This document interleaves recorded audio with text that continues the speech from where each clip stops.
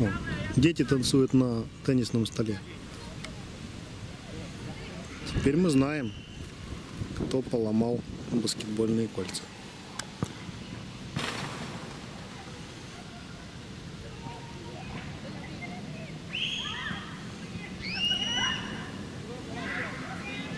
В Испании дети танцуют на теннисных столах?